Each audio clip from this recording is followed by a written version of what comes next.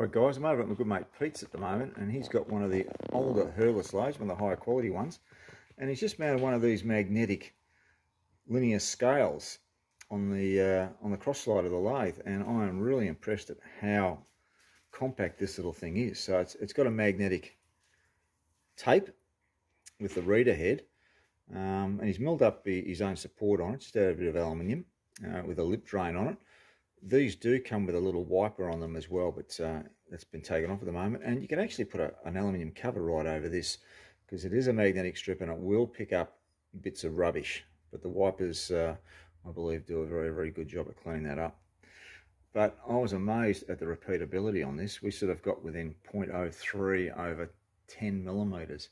It was uh, very, very surprising. But like I said, I can't get over how compact this little unit is. So if you've got a small lathe and you're worrying about the amount of room that um, linear slides are going to take up, particularly the glass ones, these little magnetic units might be uh, worthwhile. Actually, I just grabbed the strip because you can actually cut the uh, the magnetic strip just to suit the length that you want to work with. So um, I'll just go and grab a, a sample and uh, we'll have a quick look at that. Then we'll look at some of the repeatability that, uh, that Pete's getting. So that's what's left over. You just cut it the length of the suit and uh, it's probably about, I don't know, two and a half mil thick total. And uh, double-sided tape and on it sticks. Very very simple but like I said the accuracy the repeatability on this was uh, was fantastic. So let's have a quick look All at right, that. so we're reading in uh, millimeters there. Yep.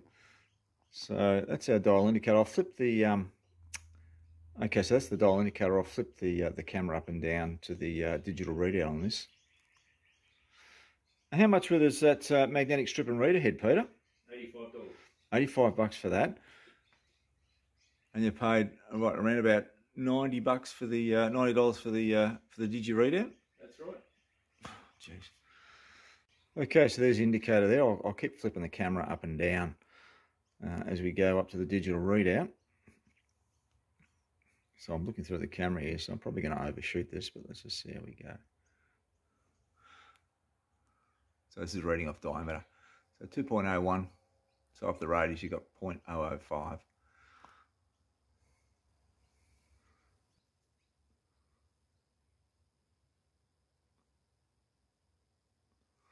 So what we might do, let's crank it up a fair bit in.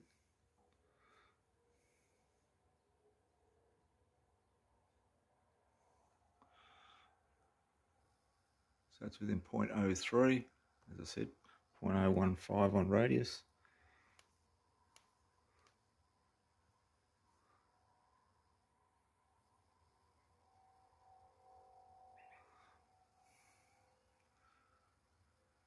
Point oh oh one there.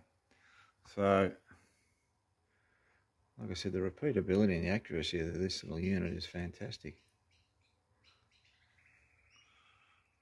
Same again. So if you do have a smaller lathe and you're looking for something really compact that you want to fit into it, um, maybe have a look at these. I'll leave a link uh, in the description to um, to where you can get this. And uh, Pete's made up his own special little brackets to mount the reader head onto. So, uh, yeah. Anyway, I said I was just over a good mate Pete's place and saw this little unit uh, that he just mounted, so I thought might show some interest. All right, guys, I'll see you soon.